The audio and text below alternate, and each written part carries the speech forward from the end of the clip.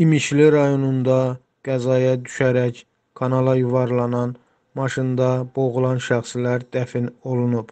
Xəbər verdiyimiz kimi, sentyabrın 9-da saat 1 radələrində İmişli rayonunun Əliqulular kəndi ərazisində Bakı şəhər sakini İlqar Şamxalov idarə etdiyi Opel Vectra markalı avtomobili yolun kənarındakı su kanalına aşırıb.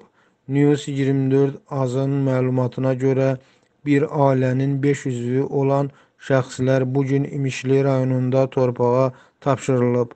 Qəza nəticəsində 50 yaşlı Etibar Məmmədov, onun həyat yoldaşı Mərziyə, oğlu Elnur, Elnurun arvadı Afət və əmisi Şamxal vəfat edib. Elnur Məmmədov 2 ay öncə evlənib və fəhləliklə məşğul olurmuş.